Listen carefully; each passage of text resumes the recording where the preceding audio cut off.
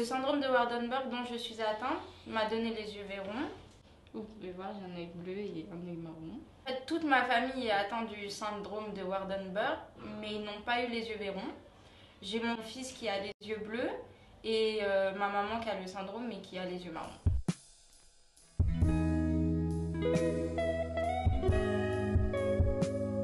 Dépigmentation euh, du cuir chevelu qui est arrivée quand j'avais euh, à peu près 18 ans. Je devrais avoir toute la tête blanche d'ici euh, à peu près 10 ans. Il y a une surdité aussi plus ou moins importante. Moi par exemple, j'entends pas d'un côté, mais euh, j'arrive à me débrouiller. C'est un grand mystère mon âge parce que je fais très jeune, mais comme j'ai des cheveux blancs, et ben, euh, en fait personne n'arrive à trouver mon âge et à chaque fois qu'on me voit, on me demande vraiment quel âge j'ai en principe on est souvent étonné de savoir mon âge.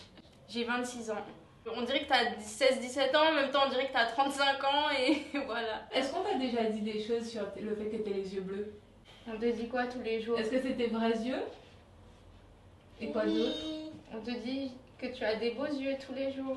Il a une surdité profonde, mais euh, grâce à ses implants, il a une bonne récupération. Bah, par exemple, voilà, si je descends, tu vas pas entendre le bruit, ou tu vas entendre... mais lui, il va entendre boum. En fait, tout est réglé à la même hauteur, donc la voix et les oiseaux et les avions, enfin tout, et du coup, bah, des fois, ça le dérange. La, da, me, a, et, de, Non. Comment on dit le cochon, Kémian Oui. On ne peut pas trop passer inaperçu et euh, j'ai toujours des remarques. Elles sont positives, donc c'est ce qui compte.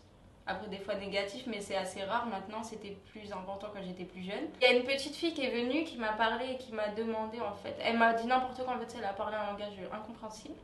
Et euh, je lui ai demandé, mais qu'est-ce que tu racontes? Elle m'a dit, ben, j'essaye de parler ta langue. Je lui ai dit, mais pourquoi tu parles cette langue-là? Je parle français. Et elle m'a dit, mais non, t'es une extraterrestre, tu viens pas de la Terre. Ça m'a fait tellement mal au cœur, je suis rentrée chez moi. Euh, en ce moment, c'est euh, j'ai perdu une lentille et si j'ai pas perdu une lentille, on me demande euh, si je vois clair, si je vois en bleu et marron, je sais pas pourquoi. Et sinon, on me dit que c'est très joli et, voilà. Je sais qu'avant, on disait autre parce qu'il n'y avait pas encore le thème Véron, mais maintenant, on dit les yeux Véron. Donc il y a bien la case Véron. L'avantage, par exemple, c'est que j'ai pu rentrer dans une agence de, de mannequinat. Ça m'a fait rencontrer beaucoup de personnes. Par exemple, ça m'a donné l'opportunité de faire une interview. et les inconvénients, c'est pareil, c'est que des fois, j'aimerais bien pouvoir euh, être discrète en fait, et c'est pas possible. Il y a toujours quelqu'un qui va toujours venir me dire Oh, t'as des beaux yeux, pourquoi tes yeux sont comme ça Euh, Ou qui va me poser des questions sur mon fils, puisque je suis souvent avec lui. Ses yeux sont super fragiles. Au soleil, par exemple, il me dit souvent qu'il a mal aux yeux. C'est vrai que les médecins m'ont dit qu'en vieillissant, je risquais de ne plus voir de mon œil bleu et d'être sourde en plus, mais bon, pour l'instant, ça va.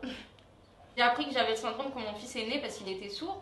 Et moi, je pensais que c'était juste du hasard, mes yeux et tout ça. Je faisais des teintures aussi avant. Je cachais, et puis un jour, j'ai dit euh, si je me cache, comment mon fils il va s'a- s'accepter? Donc, je me suis dit autant qu'il faut que je lui montre que moi-même, euh, je m'accepte pour qu'il puisse s'accepter. Parce que vu comment c'est parti, sa moustache va être blanche, son sourcil est blanc, donc euh,